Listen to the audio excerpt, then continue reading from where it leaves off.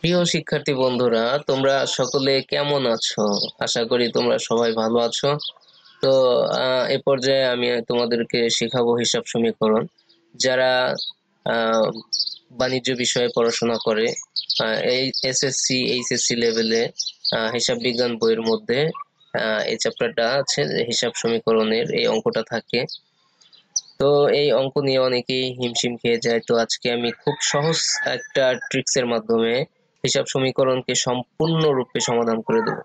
যে কোনো হিসাব সমীকরণ মুহূর্তের মধ্যে সমাধান করতে পারবে। তো মাত্র বারোটা রুলস মনে রাখতে হবে এবং রুলসগুলো খুবই সিম্পল, একদম ইজি বারোটা রুলস। এই বারোটা রুলস এর মাধ্যমে হিসাব সমীকরণ সম্পূর্ণ করা যাবে। তো আমার ভিডিওটা যদি ভালো লাগে তাহলে অবশ্যই সাবস্ক্রাইব বাটনে ক্লিক করে সাবস্ক্রাইব করুন এবং সাথে সাথে নোটিফিকেশনটি অন করে দিন যাতে আমাদের পরবর্তী ভিডিওটা আপনাদের চ্যানেলে পৌঁছে যায় খুব দ্রুত। তো চলুন হিসাব সমীকরণ কীভাবে করব? তো প্রথমে আমাদের মনে রাখার বিষয় হিসাব সমীকরণের যে বিষয় দুটো মনে রাখতে হবে সেটা হলো A equal to L plus O E অর্থাৎ এ ফর সম্পদ A for asset asset equal to সম্পদ L for liability liability equal to দায়, আর O E for owners equity যেটা মালিকানা সত্ত্ব এখানে এল এবং ও ই দুটোই দায়। একটা অন্তদায় একটা বহির্দায়। মালিকানা সত্ত্ব হলো আন্তদায় আর বহির্দায় হলো এল অর্থাৎ মালিক বাহির থেকে যে দায়টা করে, সেটাকে বলা হয় এল আর এ হচ্ছে যাবতীয় সম্পদকে আমরা এ অর্থাৎ দ্বিতীয় অপশনে আসি, সেটা হলো, লেনদেন থেকে সকল সম্পদ ও দায়গুলো চিহ্নিত করে আলাদা করতে হবে। আগে যে লেনদেনটা আমাদের সামনে দেওয়া থাকবে, যে প্রশ্নটা, সে প্রশ্ন থেকে সকল প্রকার দায় এবং সম্পদ চিহ্নিত করে আলাদা করতে হবে। অর্থাৎ গুনতে হবে কয়টা সম্পদ হলো এবং কয়টা দায় হলো, সে অনুযায়ী ছক করতে হবে। দশটা সম্পদ হলে দশটা ছক, পাঁচটা দায় হলে পাঁচটা ছক। এরকম ভাবে সম্পদ পাশে যেগুলো, যতগুলো সম্পদ আছে, সে ততগুলো ছক দিতে হবে এবং দায় পাশে ততগুলো দায় আছে, ততগুলো ছক দিতে হবে। এখন আমরা ব্যবহারে চলে আসি। এখানে দশটা রুলস বারোটা রুলস আছে, বারোটা রুলস জানতে হবে হিসাব সমীকরণ পারার জন্য। অর্থাৎ এখানে প্রথম রুলস হলো মালিক সম্পদ দিলে সম্পদ এবং মূলধন যোগ হবে। আমি এখন যে ক্লাসটা করছি, এখন আমার সাথে সাথে আপনারা সকলেই খাতা নিয়ে এবং কলম নিয়ে এটা লিখে লিখে নিলে ভালো হবে। এতে আপনাদের আশি থেকে পঁচাশি পার্সেন্ট নগদ মুখস্থ হয়ে যাবে আর বাকি খাতাটা দু একবার দেখলে মুখস্থ হয়ে যাবে। এখন মালিক সম্পদ দিলে সম্পদ এবং মূলধনের সাথে যোগ হবে, দ্বিতীয় মালিক সম্পদ নিলে সম্পদ এবং মূলধনের সাথে বাদ হবে, ক্রয় অথবা ব্যয়। নগদে হলে নগদে বাদ হবে এবং মূলধনে বাদ হবে। সম্পদ নগদে ক্রয় করলে উক্ত সম্পদের ঘরে যোগ হবে এবং নগদের সাথে বাদ হবে। এই গেল চারটি অপশন। এখন পাঁচ নম্বরে হলো ক্রয় অথবা ব্যয়। বাকিতে হলে পাওনাদারে যোগ হবে এবং মূলধনে বাদ হবে। নাম্বার ছয়, সম্পদ বাকিতে ক্রয় করলে উক্ত সম্পদের ঘরে যোগ হবে এবং পাওনাদারের সাথে যোগ হবে। নাম্বার সেভেন বিক্রয় অথবা আয়, নগদে হলে নগদের সাথে যোগ হবে এবং মূলধনের সাথে যোগ হবে। আর আট নম্বরের, সম্পদ নগদে বিক্রি করলে উক্ত সম্পদের ঘরে যোগ হবে, বাদ হবে এবং নগদের সাথে যোগ হবে।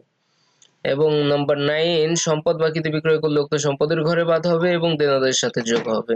নাম্বার টেন বিক্রয় অথবা আয় বাকিতে হলে দেনাদারের সাথে যোগ হবে এবং মূলধনের সাথে যোগ হবে। নাম্বার ইলেভেন পাওনাদারের টাকা পরিশোধ হলে পাওনাদারের সাথে বাদ যাবে এবং নগদে বাদ যাবে এবং দেনাদারের টাকা পরিশোধ হলে দেনাদার থেকে বাদ যাবে এবং নগদে যোগ হবে। বারোটা পয়েন্ট মনে রাখতে পারলে হিসাব সমীকরণে একদম পাক্কা হয়ে যাওয়া যাবে। আর কোথাও কখনো বাজবে না। তো চলুন আমরা এখন বিস্তারিত আলোচনা করি, কীভাবে আমরা হিসাব সমীকরণ করব। ফার্স্টে এখানে মালিক সম্পদ দিলে সম্পদে এবং মূলধনে যোগ হবে, প্রথম রুলস ছিল এটা এখান থেকে আনা। এই যে মালিক সম্পদ দিলে সম্পদ এবং মূলধনে যোগ হবে। আমরা এখন মালিক সম্পদ দিলে সম্পদ এবং মূলধনে যোগ হবে, এখানে এক লক্ষ টাকা নিয়ে ব্যবসা শুরু করল। ব্যবসা অবশ্যই মালিক শুরু করেছেন এখানে।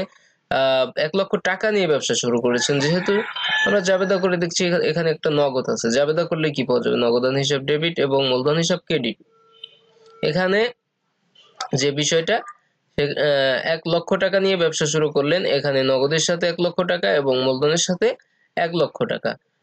রুলস অনুযায়ী যে নগদ টাকা নিয়ে ব্যবসা শুরু করলে মালিক কোনো কিছু দিলেই, এই যে মালিক সম্পদ দিলে সম্পদে যোগ হবে এবং মূলধনে যোগ হবে। সে কারণে সম্পদে যোগ হলো উক্ত সম্পদ নামে এবং মূলধনে যোগ হলো। দেন যেটা করব, এক লক্ষ টাকা পনেরো হাজার টাকার আসবাবপত্র নিয়ে ব্যবসা শুরু করলেন। এখানে মালিক নগদ টাকা দিয়েছেন এক লক্ষ আর আসবাবপত্র দিয়েছেন পনেরো হাজার। মোট এক লক্ষ পনেরো হাজার টাকা আসছেন এবং দায় ও মালিকানা সত্য পাশে মূলধন নামে এক লক্ষ পনেরো হাজার টাকা যাবে। দেন আমরা ব্যাংক হিসাব খোলা হলো দুই হাজার টাকা। ব্যাংকে হিসাব খোলা হলো যেহেতু, আবার তাহলে আগের কস্ট ছিল কত সেটা দেখি। আগে ছিল এক লক্ষ পনেরো হাজার এবং এক লক্ষ পনেরো হাজার। এখানে এক লক্ষ পনেরো হাজার এবং এখানে ব্যাংকে যে দুই হাজার টাকা সরি বিশ হাজার টাকা দিয়ে হিসাব খোলা হলো ব্যাংকের ঘরে আবার এটা যোগ হলো। অর্থাৎ সম্পদ যদি বৃদ্ধি পায়, সম্পদের ঘরে যোগ করতে হবে এবং মূলধনের ঘরেও যোগ করতে হবে। দ্বিতীয় রুলসে আমরা আসি। মালিক সম্পদ নিলে সম্পদে এবং মূলধনে বাদ হবে। মালিক যদি সম্পদ নেয়, যেমন মালিক এখানে দশ হাজার টাকা উত্তোলন করল, দশ হাজার টাকা উত্তোলন করলে নগদের সাথে বাদ গেল এবং দায় ও মালিকানা সত্ত্বেও আসে, মূলধনের সাথেও বাদ গেল। আর অবশ্যই মনে রাখতে হবে, এই দুই পাশের কস্টিং ঠিক আছে কিনা? নব্বই হাজার, পনেরো হাজার এবং বিশ হাজার যোগ করলে এক লক্ষ পঁচিশ হাজার হয়, এবং এখানে এক লক্ষ পঁয়ত্রিশ হাজার সাথে দশ হাজার বিয়োগ করলে এক লক্ষ পঁচিশ হাজার হয়। দুপাশের কস্টিং সমান।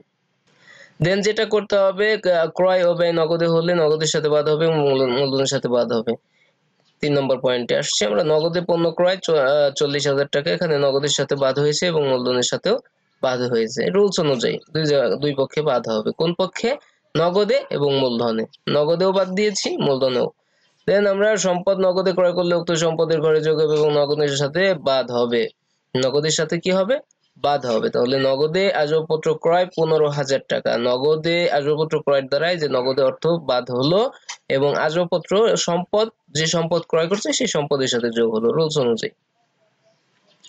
দেন আমরা আসব পাঁচ নম্বরে, ক্রয় ও ব্যয় বাকিতে হলে পাওনাদের সাথে যোগ হবে এবং মূলধনের সাথে বাদ হবে। তাহলে ক্রয় অথবা ব্যয়, কোনো প্রকার ব্যয় হলে বা ক্রয় যদি হয়েছে তাহলে বাকিতে হয়েছে। এখানে বাকিতে হলে পাওনাদারের সাথে যোগ হবে, যোগ করা হয়েছে। পাওনাদার এখানে জিরো ছিল চল্লিশ হাজার টাকা, বাকিতে পণ্য ক্রয়ের চল্লিশ হাজার টাকা আসছে এবং মূলধনের সাথে বাদ হবে এখানে মূলধনের সাথে বাদ করা হলো। দেখুন, এখানে চল্লিশ আর পাঁচচল্লিশ হাজার কত হয়? পঁচাশি হাজার টাকা। এখানে পঁয়ত্রিশ হাজার, এখানে তিরিশ হাজার পঁয়ষট্টি হাজার আর বিশ হাজার, পঁচাশি হাজার টাকা। দুই পাশের কস্টিং সমান। দেন সম্পদ বাকিতে ক্রয় করলে উক্ত সম্পদের ঘরে যোগ হবে এবং পাওনাদারের সাথে যোগ হবে। এখানে যে কোনো সম্পদ বাকিতে আসবাবপত্র ক্রয় করছে। এখানে আসবাবপত্র যেহেতু সম্পদ, এটা বাকিতে কিনছে আসবাবপত্র ঘরে যোগ হয়েছে এবং পাওনাদারের ঘরে যোগ হয়েছে। দেন আমরা আসছি নেক্সট বিক্রয় অথবা আয়, নগদে, হলে নগদের সাথে যোগ হবে এবং মূলধনের সাথে যোগ হবে। এখানে নগদে পণ্য বিক্রয় এক লক্ষ টাকা। নগদে বিক্রয় করার দ্বারা এখানে এক লক্ষ টাকা নগদের সাথে যোগ হয়েছে এবং মূলধনের সাথে এক লক্ষ টাকা যোগ হয়েছে। আট নম্বর রয়েছে, সম্পদ নগদে যদি ক্রয় করে সরি এখানে সম্পদ নগদে বিক্রয় করলে উক্ত সম্পদের ঘরে বাদ হবে এবং নগদের সাথে যোগ হবে। তাহলে কি সম্পদ নগদে যদি বিক্রয় করে, উক্ত সম্পদের ঘরে বাদ হবে এবং নগদের সাথে যোগ হবে। এখানে নগদে আসবাবপত্র বিক্রয় করছে, তাহলে নগদের ঘরে যোগ হয়েছে এবং উক্ত সম্পদের ঘরে বাদ হয়েছে। আসবাবপত্র যেহেতু বিক্রয় করছে, আসবাবপত্র ঘর থেকে আমাদের বাদ দিতে হয়েছে। দেন আমরা নয় নম্বর রুলস বলছে, সম্পদ বাকিতে বিক্রয় করলে উক্ত সম্পদের ঘরে বাদ হবে এবং দেনাদের সাথে যোগ হবে। বাকিতে আসবাবপত্র বিক্রয় করেছে, এখানে আসবাবপত্র ঘরে বাদ হইল এবং দেনাদারের সাথে যোগ হলো দেনাদার বৃদ্ধি পেল। তারপরে দশ নম্বর। বিক্রয় অথবা আয় বাকিতে হলে দেনাদারের সাথে যোগ হবে এবং মূলধনের সাথে যোগ হবে। বিক্রয় অথবা বাকিতে পণ্য বিক্রয় করার দ্বারা এখানে দেনাদারের সাথে যোগ হয়েছে এবং মূলধনের সাথে যোগ হয়েছে। দেন যেটা করতে হবে, এগারো নম্বর পাওনাদারের টাকা পরিশোধ হলে পাওনাদারে বাদ যাবে এবং নগদে বাদ যাবে। এখানে পাওনাদারের টাকা পরিশোধ করা হয়েছে, পাওনাদারকে পঞ্চাশ হাজার টাকা পরিশোধ করার দ্বারা এক লক্ষ পাঁচচল্লিশ হাজার টাকার সাথে পঞ্চাশ হাজার টাকা বাদ গেছে এবং পাওনাদারের সাথে পঞ্চাশ হাজার টাকা বাদ গেছে। দুপাশের কস্টিং এখনও ঠিক আছে। লাস্ট বারো নম্বর এন্ট্রি থেকে দেখা যাচ্ছে যে দেনাদারের টাকা পরিশোধ হলে দেনাদারের সাথে বাদ যাবে এবং নগদের যোগ হবে। এখানে দেনাদারের নিকট থেকে প্রাপ্তি এক লক্ষ টাকা, অর্থাৎ দেনাদার আমাদের টাকাটা পরিশোধ করে দিয়েছে। এক্ষেত্রে নগদের সাথেও যোগ হলো এবং দেনাদারের সাথে বাদ হলো, দেনাদার হ্রাস পেল।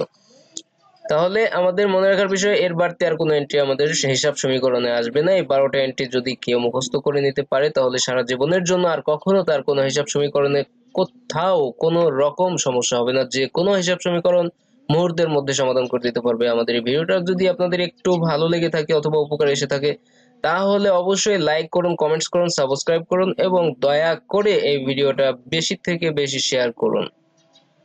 ধন্যবাদ এতক্ষণ কষ্ট করে আমার সাথে থাকার জন্য এবং আপনাদের মতামত আমাদের কমেন্টস এর মাধ্যমে জানাতে পারেন। কোন কোনো কিছু যদি প্রয়োজন হয় তাহলে আমাদের জানাতে পারেন। আপনাদের জন্য আমি সব সময় প্রস্তুত। তো ভালো থাকবেন। সুস্থ থাকবেন। এই প্রত্যাশায় আজকের মতো এই পর্যন্তই।